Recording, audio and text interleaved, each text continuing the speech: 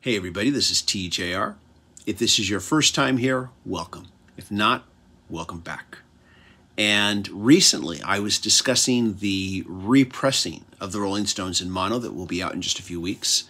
And I uh, saw a comment from one of our viewers that I wanted to address here in this video. This comment is from viewer Brian Cunningham 3155. And he writes, I'm 67 years young and have been a Beatles as well as Stones fan since 1964. So, first of all, right off the bat, Brian, you are awesome. Uh, in 1964, I was just trying to learn how to walk, I think. Um, let me go on here with what he says. That being said, over the years, I welcomed the evolution of recorded music. And with the recent remixing of the original albums, I could never get excited about mono recordings ever again. This particular box set of the Stones in mono had zero interest for me. Should we go back to wax 78 RPM pressings or Edison cylinders? The recent incarnation of Peter Jackson's Get Back and having his technicians separate the single tracks was like listening to brand new recordings. I did buy the Revolver Super Deluxe box set, but I have no interest in listening to the mono version. Just my humble opinion. And Brian, if you have no interest, that's fine. But I thought I should use this comment to discuss why you might be interested in listening to recordings from this era. And I'm talking about the early to mid late 60s, why some mono recordings might be of interest to listen to, and why a lot of music fans do have an interest in them.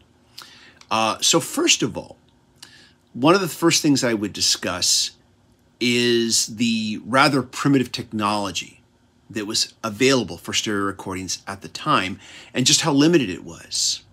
These limitations created some very extreme, hard left and right stereo separation, unlike what we have today. For this reason alone, many fans feel that mono mixes from this era, era, excuse me, from this era of popular music and rock and roll offer a more full and enjoyable listening experience than the more primitive stereo of the time. And again, I'm referring to that very hard left and right separation. A good example, uh, using the Beatles, is that when comparing the track Please Please Me, I found the 2009 Monomaster to have a much beefier, tougher, and tighter sound than the 2009 stereo remaster. In addition, I can make a more Beatles specific argument as to why you should listen to the Beatles in mono in addition to listening to it in stereo. Simply put, the mono versions are the versions that the Beatles and producer George Martin put all of their efforts into during this time period. These are the versions that they wanted you to hear. The stereo versions were just something that had to be done afterwards to please a small market less effort and thought was put into them. And in many cases, the Beatles themselves were not involved. Reportedly, George Martin's involvement in the stereo mixes would sometimes vary, and in some cases, it would be put into the hands of another engineer entirely. It's ironic that for decades, after stereo took over and mono faded away, that we were all listening to what I would probably best describe as the afterthought mixes of the Beatles catalog. But there are other reasons why the Beatles in mono offer a different listening experience from their stereo counterparts, and why you might want to give them a try. Sometimes studio effects were used in the mono versions that got completely washed out when they were transferred to stereo.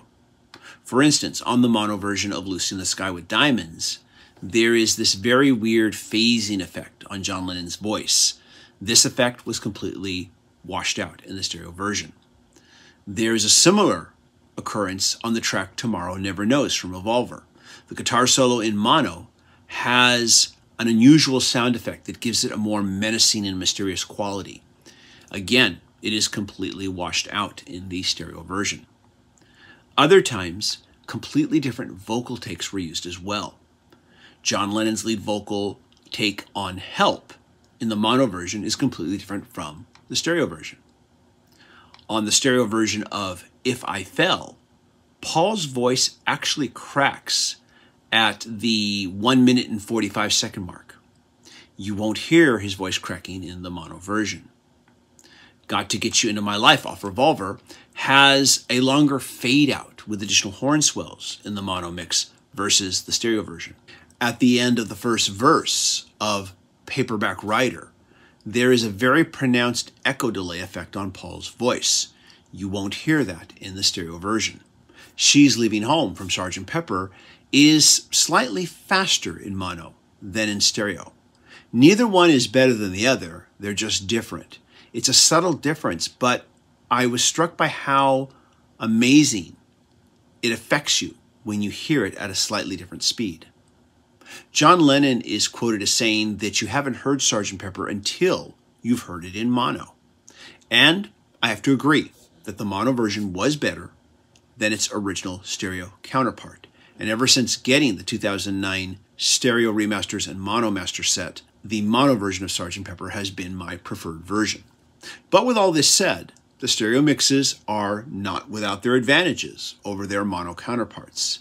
Helter Skelter, for instance, has the very infamous fade up after the fade out, wherein Ringo shouts out, I've got blisters on my fingers. In the mono version, there is no fade up. It just fades out. It's one of the few times where I prefer the stereo version over the mono version. I could go on. There are more examples of this throughout the Beatles catalog, but I'm going to stop there, just kind of to give you an idea. Now, however, though, with the Rolling Stones, it's a very different story. The mono mixes of the Stones' 60s catalog are not considered the preferred version by the band. You also won't hear unique audio differences, such as a different vocal take or an audio effect that was later washed out in stereo in the mono and, and stereo versions of their albums. You won't hear that when you compare them. But with all that said, just like I did with Please Please Me, I had a similar experience comparing the UK version of Aftermath in stereo and in mono. The mono version of Aftermath felt beefier than its stereo counterpart. But I didn't necessarily feel that way with some of the later Rolling Stones 60s albums, like, say, Let It Bleed. But I definitely chose the mono version of Aftermath as my preferred version over its stereo version after hearing it. At the end of the day, this is all a matter of choice. I'm not saying that anybody watching this video has to listen to these albums in mono. But what I can say in regards to the Beatles catalog is that even if you prefer stereo, the mono catalog of the Beatles does offer some rather unique and interesting variations on this catalog that you're probably going to be very intrigued to hear. Anyways, those are my thoughts. Let me know what your thoughts are on all of this. What are some of your favorite albums to listen to in mono versus stereo or vice versa? Brian Cunningham, 3155, I want to thank you very much for a really great comment and something that I could sink my teeth into and make a video out of. Whatever you choose to do, just enjoy the music. And I'll say that to everybody watching right now. This is TJR, and if you like this video, be sure to hit like, hit subscribe, and hit the bell notification icon. I want to thank my Patreon supporters who are helping me make more videos. Patreon supporters do receive exclusive weekly videos not available here on this channel. And if you can't be a Patreon supporter but still want to do a little something extra, there is now a new special give button here underneath this video that allows you to make a one-time donation in regards to this video. So if you enjoyed this video and want to make a one-time donation, thank you very much. I greatly appreciate it. Mostly though, I want to thank you all for watching, for spending some time, and just really appreciate you making it here to the end of the video. Everybody take care. Hope you all stay safe and healthy. Bye-bye.